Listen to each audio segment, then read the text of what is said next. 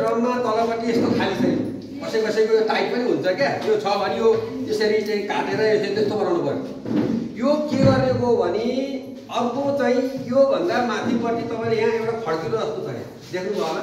यहाँ तल यो फलामको यो फलामकोबाट बनेको यो चाहिँ यसलाई लगेर तपाईँले यहाँ यसरी हालिदिनु भयो यहाँभित्र हालिदिनु भयो भने यो चाहिँ के गर्छ भन्दा यो माथि यहाँ- यहाँबाट यसरी म यहाँ तपाईँलाई देखाउँछु ल। सबैले हेर्नु त अब टाँड जस्तो भयो यो तल गएन। यदि तपाईँले यो भाँडोमा यो फलामको तार यो प्रयोग गर्नु भएन भने हजुरहरूले हालेको चिज चाहिँ सिधै तल जान्छ तल जान पाएन। यहाँ गएर यतिमा अट्यो। यो पाल बनाइसकेपछि अनि यहाँ भित्र सामग्री राखेको हुन्छ। यसरी चाहिँ तातो हावाहरू बिस्तारै माथिल्लो पालबाट र यताबाट तातो हावा जान्छ। कुनै तपाईँको आएर किन्न किने हुन्छ कि? तपाईँले यो व्यवस्था मिलाउनु भएका ड्रमहरूमा पाल पारिदिनु भयो भने तपाईँहरूले पनि यो घरमै भएको सामानहरू पनि प्रयोग गर्न सक्नुहुन्छ। अब के गर्ने? आज त ड्रम पाउनु ड्रम लिएर जानुभयो घर लिएर जाने बित्तिकै घर खेर गएको दाल भात तरकारी हाल्नु हुन्छ त। किन हुन्छ? कि हुन्न भनेको धेरै न न- नजानेर। यदि तपाईँले खेर गएको तरकारी हालिदिनु भयो भने त यो पुवाल छ तल पुवालबाट सिधै तलबाट यताबाट हालिदिनु भयो यताबाट निस्किन्छ कुहिन्छ त कुहिएन। आज हालेको चिज दुई तिन दिनपछि प्यात्त भएर कुहियो भने त मल बन्यो। मल बन्ने भनेको त्यो जैविक विधिबाट तयार भएर जीवाणुहरूले कुहाएर बनाएपछि बल्ल मल बन्छ। त्यसको टाइम लाग्छ दुई महिना तिन महिना समय हेरेर लाग्छ त्यो हिसाबले हजुरहरूले के बुझ्नु पऱ्यो भने आज लिएर जानुभयो भने मसिना पहिला चारामा जति सुकेका झिझा दाउराहरू खान्छ। मसिना क्या मसिना दाउरा लिन अन्त किन्न जानुपर्ने होइन। तपाईँको घरमा केही बुट्टाहरू होलान् अथवा ठुला के खुर्सानीका केही होलान् ती चिजहरू सुकेका चिजहरूलाई काट कटिङ गरेर चारामा जति यसरी राख्ने त्यसको चारामा जति हुने गरेर त्यसको चाङ बनाउनु। त्यो चाङ बनाइसकेपछि त्योभन्दा माथि तपाईँको के हुन्छ भने सुकेका कुरा। यो प्राङ्गारिक मल बनाउन चारवटा कुरा चाहिन्छ। एउटा हावा एउटा पानी एउटा सुकेको सुकेको वस्तु एउटा हरियो वस्तु। हरियो वस्तु भनेको झारपात र हामीले घरबाट निस्केको वस्तुहरू भए अब यो सुकेका वस्तुहरू जस्तो यो सुकेका यो हरिया हरिया छ अब यसलाई पनि के गर्नुपर्छ भने जति मसिनो बनाएर हामीले त यत्तिको बनाएर हाल्न सक्यौँ त्यसरी हुन्छ। तपाईँको घर सुकेका वस्तु छैन भने यी सबै चिजहरूलाई यसरी सानो बनाउनु र मजाले चाहिँ घाममा सुकाइदिनु। यो घाममा सुकाएपछि के हुन्छ यो सुक्खा वस्तु बन्छ यो सुक्खा वस्तु भन्छ यो चाहिँ तपाईँको के भने हरियो वस्तु भयो। यो हरियो वस्तुहरू छन् भने यो हरियो वस्तुलाई पनि यसरी हरियो वस्तुको रूपमा राख्ने। अब आज ल्याएको दिनमा पहिलोपटक कति आउनु? चार आउनु। सुकेका धिजा दाउरा राख्ने। सुकेका धिजा दाउरा राखेपछि यो सुकेको चिज भयो नि फेरि। फेरि अर्को चारामा चाहिँ यो सुकेका चिजहरू यसरी चाहिँ फैलाएर राख्ने। तपाईँको सानो मसिना दाउरा राखेमाथि यो राख्ने। त्यसपछि फेरि यो हरियो हरियो ध्यान राख्ने। हरियो अहिले देखायो नि फेरि चारामा जति हरियो राख्ने। सुकेको धिजा दाउरा त्यसपछि सुकेका सुकेका पात पतिङ्गर जे छन् पत्रिका राखेको हुन्छ कार्टुन राखेको हुन्छ पहिला चाहिँ सुकेको पात पतिङ्गर राख्नु अनि ढिला राख्नु अनि ढिला राखेपछि फेरि एकचोटि चाहिँ सु- हरियोमाथि एकचोटि फेरि सुकेको राखेपछि बल्ल अब तपाईँको यो भाँडो के बोल्दा भन्दा आजदेखि बेला बेलुकादेखि खेर गएको तरकारी तरकारीका बोक्रा खेर गएको खाना दाल होइन घरमा लिएर आएको अनि बेला बेलामा चाहिँ कार्टुनका टुक्रा जस्तो जुसहरू खायो तपाईँले जुसहरू ल्या खानुभयो भने जुसको चाहिँ फ्रुटीहरूको भयो बिर्को नहाल्ने अरू सबै चिज मसिनो मसिनो गरेर त्यहाँ कागजहरू हुन्छन् कागजहरू कपीहरू नलेखेर लेखेर चाहिँ जानुपर्ने कपी अन्त नबेच्ने क्या टुक टुक्रा टुक्रा पारेर हाल्ने किन भन्दा यसलाई कार्बन र नाइट्रोजनको रेसियो चाहिन्छ। सिओन रेसियो तिस इस्टु वान भन्छ। तिस भाग कार्बन एक भाग नाइट्रोजन हुनुपर्छ। म अहिले कार्बन बढी भयो के हुन्छ? नाइट्रोजन बढी भयो के हुन्छ भन्छु। अनि त्यसपछि तपाईँले यसमा राखिसकेपछि खेर गएको खानेकुरा दाल तरकारी राख्नुहुन्छ। जुन चाहिँ सकेसम्म टुक्रा टुक्रा बनाएर राख्ने। के के प्रयोग गर्ने के के प्रयोग नगर्ने पनि हुन्छ। अब प्रयोग गर्ने भनेको कुहिने चिज सबै हुने भयो होइन अब कागजका टुक्राहरू पनि यसमा हुने भयो पत्रिका हुने भयो क्रेट हुने भयो अन्डाका बोक्रा हुने भयो सकेसम्म सकेसम्म हातमा पन्जा लगाएर मसिनो मसिनो बनाएर यसमा राख्ने क्या कसैको कुहिँदै कुहिँदैन कसैको टाइम लाग्छ कसैको छिटो कुहिन्छ भने त्यो कुरालाई पनि हामीले ध्यान दिनुपर्छ है? अब त्यसमा त्यो कुराहरूलाई सुकेका चिजहरू त्यसरी राख्नुपर्छ भने हरियो चिजहरू घरमा भएको चिजहरू राख्न सकिन्छ तर राख्न नहुने केही कुरा छन्। सिँगै सुन्तला खान मन फट्ट फाल्न मिलेन। होइन औषधि कतैले खाएन भने यहाँ फाल्न मिलेन। यो डस्टबिन होइन यो कम्पोस्ट बिन हो डस्टबिन भनेको जे पनि हाल्ने कुरा हुन्छ त्यो पनि हामीले सेग्रिगेसन गरेर त्यहाँ। न कुहिने चिज मात्रै हालौँ। कुनै चिजहरू चाहिँ यसमा व्यवस्थापन गर्ने भनेर यसलाई चाहिँ कम्पोस्ट बिन भने यो कुहिने चिजहरू हाल्ने हो दुई तिनवटा कुरा यसले दुध नहाल भन्छ मासु नहाल भन्छ बिरालोको दिशा नहाल भन्छ। अनि त्यसपछि त्यो के अरे एभोगाडोको भित्रको डल्लो नहाल भन्छ र घाँस एकदमै कडा फुलिरहेको घाँसको बिउ सहितको बिउ पनि नहाल भन्छ। त्यो अलि राम्रोसँग कुहिँदैन मल निक्ल्यो भने बिउ सहित निक्लिन्छ भन्छ। त्यो भएर गन्धे भयो झारहरू भयो भने फुल्ल लिएर निकाल्ने अरे क्या जति सानोमा निकाल्यो त्यति छिटो उता बारीको मल पनि कम खान्छ। यहाँ ल्याएर चाहिँ राख्ने हुन्छ। त्यो कोरा मल पनि हुन्छ। अब अरू चाहिँ के हुन्छ यसलाई चाहिँ बेल बेला बेला बेलामा चाहिँ दहीलाई दुधलाई दही बनाउनु पऱ्यो भने के हुनुपर्छ? दहीको थोरै टुक्रा हालेर जोरन हाल्नुपर्छ नि। त्यस्तै यसमा पनि जोरनको रूपमा प्रयोग गर्नुपर्छ। जोरन चाहिन्छ। जोरन भनेको के हो त भन्दाखेरि पहिल्यै तयार भएको कम्पोस्ट मल छ भने त्यो पनि जोरन हुन्छ। अहिले तपाईँले भने जस्तो कुखुराको मल पनि छ भने बेला छर्के त्यो पनि तयार हुन्छ। अरू अरू चिज पनि छ। तर केही पनि छैन तपाईँसँग भन्यो भने यहाँ एउटा सूक्ष्म जीवाणु इयम भन्ने छ इफेक्टिभ माइक्रो अर्गानिजम हो यो अब तपाईँले हातमा लगाएर मुखमा चाटे पनि केही असर गर्दैन क्या। भनेको जीव विषादी होइन क्या।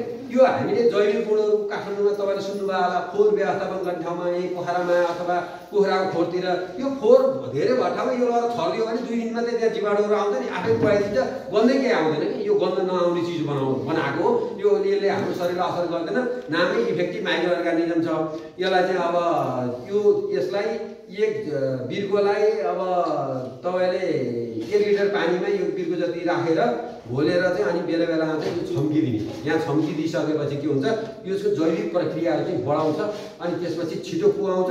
भर्दै जाने त कहिलेकाहीँ सुक्खा पदार्थहरू हाल्ने अनि त खेरगाउँको तरकारी है अब बोक्राहरू भयो तपाईँले केही ल्याउनु भएको ती झारहरू निक्लिए बारीमा निक्लिएका झारहरू छन् भने त्यसलाई टुक्रामा बनाउने। यदि सुकेका वस्तु छैन। सुकेका वस्तु छैनन् भने फेरि समस्या आउँछ घरमा भएका कुहिने वस्तु मात्रै हाल्नुभयो भने फेरि फेरि गन्ध आउँछ त्यो भएर हामीले सुकेका वस्तु हाल्नुपर्छ सर गनायो केही भएन डल्लो भन्यो चौपनी जस्तो भन्यो काम गरेन भन्यो भने त्यहाँ सुकेका वस्तु पुगेन कार्बन र नाइट्रोजनको रेसियो मिलेन त्यो चिज सुकेका चिजहरू भयो भने के हुन्छ त्यहाँभित्र हावा खेल्न पाउँछ सुक्खा चिज हुन्छ सुक्खाले चिसो एब्जर्भ गर्छ त्यसले गर्दाखेरि त्यहाँको वातावरण राम्रो बनाउँछ यो कुरालाई चाहिँ हजुरहरूले ध्यान दिनुपर्छ यो चिजलाई बनिसकेपछि तपाईँले यहाँसम्म पुग्छ नि यतिसम्म यो तहसम्म पुगिसकेपछि अब यो मलको भाँडो भरिन्छ। यो मलको भाँडोलाई चाहिँ अनि त्यसपछि त्यहाँभन्दा माथि फेरि सुकेका चिजले सुकेका अब घरा के छन् सुकेका पातहरू? अब ठुला बिरुवाहरू हुन्छन्। कहिले काहीँ कसैको घर एउटा दुईवटा रुख हुन्छ। हिउँदमा हामी बढार्दै आँगन बढार्दै जाने अनि आँगन बढार्दै गएर एउटा कुना लगाएर आगो लाउने पनि हुन्छ। आगो नलाउनु सुकेका चिजहरूलाई एउटा एउटा पोका प्लास्टिकमा पोका बनाएर राख्नुहोस् क्या। त्यो पोका बनाएर राखेर हरेकचोटि चाहिँ त्यो पोकाको प्लास्टिक चाहिँ सुकेको चिज यहाँ हालिदियो कहिलेकाहीँ पात तपाईँको चौतारो नजिक छ रुख जङ्गल नजिक छन् पातहरू झर्छन् भने ती पातहरू पनि टिपेर त्यो त्यसमा प्लास्टिकमा राख्नुहोस्। यो बेला बेला यसलाई चाहिन्छ। पत्रिकाहरू हुन्छन् ती पत्रिकाहरू क्रेटहरू कार्टुनहरू कार्टुनको त टेपहरू हुन चाहिँ नहाल्ने तर काटेर टुक्रा टुक्रा बनाएर जति मसिनो बनाएर हाल्न सक्यो त्यो चाहिँ के हुन्छ यसले कुहाउन चाहिँ छिटो गराउँछ। यो पुगिसकेपछि यहाँबाट सुकेका चिजहरू राखिदिने। र बेला बेलामा चाहिँ तपाईँ अब छोडेर बाहिर जानुभएको के छ भने बेला बेलामा यसो आठ दस दिनको फरकमा चाहिँ एउटा केही लट्ठी अथवा केही बनाएर यसो चलाइदिनु भए पनि हुन्छ। चलाइदिनु भए पनि हुन्छ। यसलाई चाहिँ सिधै प्रत्यक्ष घाम र प्रत्यक्ष पानी पर्ने ठाउँमा अलि नराख्नु होला सिधै घाम पर्छ दिनभरि घाम पर्छ अथवा पानी पर्छ अथवा डुबान छ सकेसम्म भान्सा छ भने भान्साबाट तल नजिकै छततिर भान्साबाट नजिक छत छ अनि माथि भयो छततिर तल छ भने करेसाबारीको यसो छेउतिर। प्रत्यक्ष घाम पनि नलाओस् पानी डाइरेक्ट सधैँ नपरोस् क्या कहिले काहीँ त पानी परेर केही हुन्छ? माथि छोपिराखेको हुन्छ पानी राखेको छ मैले छु। अब यो प्रयोगमा आउँछ पछि पछि यस्ता यस्ता चिप्टे किराहरू आउँछन्। झन् त्यो किराहरू जति त्यस्ता किराहरू आउँछन्। त्यो झन् त्यति कुहिन्छ क्या त्यति राम्रो हुन्छ। गनाए यस्ता किरा आयो घर आयो भन्नु त त्यस्तो हुन्न। त्यो त्यसले झन् कुहाउनलाई चाहिँ सहयोग गर्छ त्यो हजुर। बडाउला नि मिल्छ। म अहिले यसको भन्छु। अनि त्यसपछि यहाँबाट तयार भइसकेपछि अब मल चाहिँ के हुन्छ भने मल बन्छ कम्तीमा दुईदेखि तिन महिना लाग्छ। गर्मी भए छिटो बन्छ। त्यो पनि मसिनो मसिनो टुक्रा बनाउने गर छिटो बन्छ। र ढिलो भएदेखि तिन महिना चार महिना लाग्छ। यसलाई चाहिँ के हुन्छ एउटा भाँडो भरेर राखिसकेपछि यसरी बिरुवा राख्ने। अनि घर निक्लिन्छ फोहोर एउटा घर कतिवटा हुनुपर्ने रहेछ। कम्तीमा दुईवटा हुनुपर्ने रहेछ। अहिले हामी एउटा एउटा पनि नभएर यहाँ आएको भनेको हाम्रो घरमा यस्ता भाँडा दुईवटा भएपछि एउटा भरियो एउटा भरिएपछि यता राख्यो। अनि फेरि अर्को चाहिँ लिएर आएर चाहिँ हामीले फेरि अर्को छ महिनालाई यहाँ राखिन्छ। अब मल बन्यो कि बनेन कहिले बन्छ के गर्छ भनेर बेला बेलामा हेरेर जाने। हेरेर जाँदाखेरि यसमा तिन महिना जतिमा तपाईँ जानुभयो भने दुई तिनवटा विधि छ। एउटै मात्र घरमा भाँडो हुनेले के गर्नुहुन्छ भने मेरो मैले नि एउटा मात्रै भाँडो छ। मैले के गर्छु भने यो अब दुई हप्ता तिन हप्ता कम्तीमा एक महिना जतिकोमा माथि माथिको हातमा पन्जा लगाएर माथि माथिको चाहिँ छोडिदिने तल तलको चाहिँ सबै निकालेर अब खुर्सानी रोप्नु पऱ्यो घिराउला रोप्नु पऱ्यो करेला रोप्नु पऱ्यो नि यहाँ खाडल बनाउने। खाडल बनाएको ठाउँमा यो कुहियो कुहिरो लागेकोलाई तल हालिदिने अनि त्यसपछि घिराउला गरेर रोपिदिइसकेपछि अलिअलि कुहिया रहन्छ भने पनि त्यहाँभित्र फेरि बिस्तारै माटोले कुहाउँछ यदि यो ठाउँ खाली हुन्छ अनि माथि हाल्नु पाइयो अब एउटा मात्रै हुँदा हो अर्को दुइटै हुँदाखेरिको चाहिँ तपाईँको मल चाहिँ राम्रोसँग एकदमै फाइन तरिकाले काम गर्नुभयो भने तपाईँको मल चाहिँ झर्दै आउँछ। यो मलै झिक्ने पाल हो क्या खास यसो हात लाएर चाहिँ यहाँबाट कुटोले चाहिँ सल्लाह यहाँ निकाली जति मल यहाँबाट आउँछ त्यो आएको मललाई छान्ने हल्का छानेर मसिनो बनाएर अनि त्यो दुध ल्याएको पोकामा चाहिँ प्लास्टिकमा सिल गरेर राखेर भान्सामा राख्दाखेरि कुनै गन्ध नआउनु हुनुपर्छ। गन्ध आयो भने तपाईँले बनाएको मल बिग्रियो। हात हालिँदाखेरि माटोको जस्तो गन्ध आउनु पऱ्यो माटोको के गन्ध आउँछ केही आउँछ आउँदैन नि। माटो जस्तो स्वस्थ हुनु पऱ्यो नाक थुनेर फालेको चिजबाट हातमा लिएर चाहिँ लिँदाखेरि कुनै गन्ध नआउनु हुनुपर्छ। तपाईँको बल्ल मल बन्यो भने हुन्छ। मल हेर्दा चाहिँ कालो खैरो खैरो कालो कालो जस्तो हुन्छ। त्यो कालो कालो खैरो खैरो जस्तो भएको मललाई एउटा प्लास्टिकमा चेक गर्न पर्यो। त्यो जो बिउ उम्रियो भने तपाईँको मल हेर्दा राम्रो मात्रै भएर भएन। मान्छे राम्रो मात्रै भएर भएन व्यवहार राम्रो हुनु पऱ्यो स्वभाव राम्रो हुनु पऱ्यो भनेको त्यो मल पनि कालो मात्रै छ तर मल चाहिँ कालै राम्रो हो। तर त्यो भित्रको गुण चाहिँ उमार शक्ति नै नभएको रहेछ भने फेरि त्यस पनि बिग्रियो नि। कहिले कहीँ यहाँनिर एन्टिबायोटिक खाल्यौँ कि कहिले कहीँ गडबड गऱ्यौँ कि कहीँ मासु नै हाल्न नमिल्ने ठाउँमा भन्ने ठाउँमा खाना खाँदै गऱ्यौँ भने मासुकै त्यहीँ हालिदिउँ कि। त्यो अब तिस किलो छ।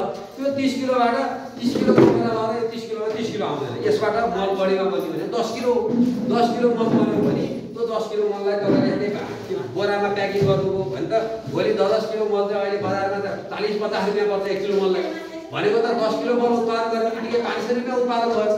यहाँ भएका सोह्रजनाले त्यो पाँच सय बोतलले उत्पादन गर्नुभयो भने त भोलि त तपाईँहरूको घर आउनेले घर नआउनेले बिक्री गर्न पनि सक्यो नि त। ए होइन त्यो त्यो अब यो उत्पादनबाट यो चाहिँ मल प्रयोग गरेको उत्पादन भनेको प्योर अर्ग्यानिक उत्पादन भयो स्वस्थ उत्पादन भयो। त्यहाँ हाम्रो अरूले रासायनिक विषादी हालेको रासायनिक मल हालेको कहाँको सुरुमा भतक्क आउँछ अनि छिटो बढ्नु हुन्छ। तर यो हालेको चिज चाहिँ लगातार फलिरहन्छ बिस्तारै फल्छ थोर थोरै फल्छ तर लामो समयसम्म फल्छ। हामीलाई चाहिएको त्यही हो हतार पत्ता धेरै फलोस् अनि पछि गएर नफलोस् भने त होइन। त्यो भएर यसले चाहिँ बिरुवाको आयु लम्बाउँछ तपाईँलाई काम गर्ने समय बढाउँछ तपाईँलाई चाहिँ अलिकति बढी सक्रिय बनाउँछ एक्टिभ बनाउँछ र यो मल बनिसकेपछि तपाईँले रोपेका चिजहरू हुन्छन् हामी त्यहाँ विभिन्न करेसा बारीमा मौसमीमा अहिले बारीमा बनाउने भन्दा मात्रै लाउँछ तर करेसा बारीमा जे जे पाइन्छ। कतै गाडी सिमीका दुईवटा बिउ दिए नि लगाएकै छ अर्को काँक्रोदेखि लगाएकै छ घिराउनेदेखि लगाएको छ हेर्दा हेर्दै त के हुन्छ कौसीमा त यति धेरै चिज छन् तपाईँहरूले अब त्यस्तो मौकाले कतै जानुभयो भने पोखरातिर होइन? अब बजार क्षेत्रमा धेरै अभियानहरू भयो कौसीको त्यहाँ चाहिँ दिदीबहिनीहरूले यस्तो गर्नुहुन्छ कि भेराइटी साटासाट पनि गर्नुहुन्छ क्या। तरकारी गयो भने अब बेच्न त अलि बजार क्षेत्रले लाज पनि होला कतिलाई। मेरो घरमा दुईवटा घेराउनु भयो भने दुईवटा उहाँका करेला भने घेराउला करेला साट्यो भयो भने आफ्नो घरमा भएर साटी साटी भयो भने हामी खान पाइयो।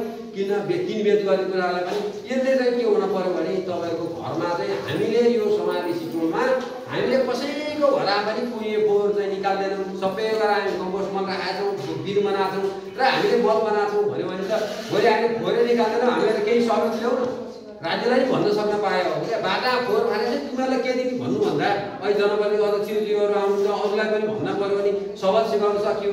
भोलि तपाईँले यो मल बनाएर सबैको घर घरमा ड्रम बनाउनु भयो घर हराभरा बनाउनु भयो यो कुनामा तपाईँहरूको यो डाँडाको वरिपरि देखेका ठाउँमा हरियाली नै त्यो यही कम्पोस्टको पौसीमा हरियाली चाहिँ यसैका कारणले अझ बढ्दै गयो भने त एउटा त के हुन्छ हेरिरहँ बसिरहँ जस्तो हुन्छ। यसैले चाहिँ यहाँ मौरी आकर्षण गर्छ किराहरू आकर्षण गर्छ।